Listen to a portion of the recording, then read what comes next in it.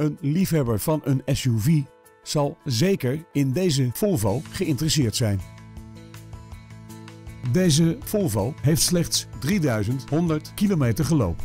Het bouwjaar is 2018.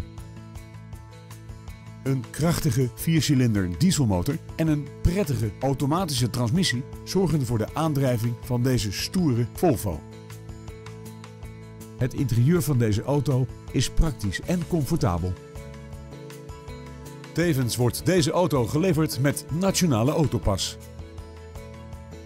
Hebt u interesse in deze auto? Neem nu contact met ons op en we zetten hem klaar voor een proefrit.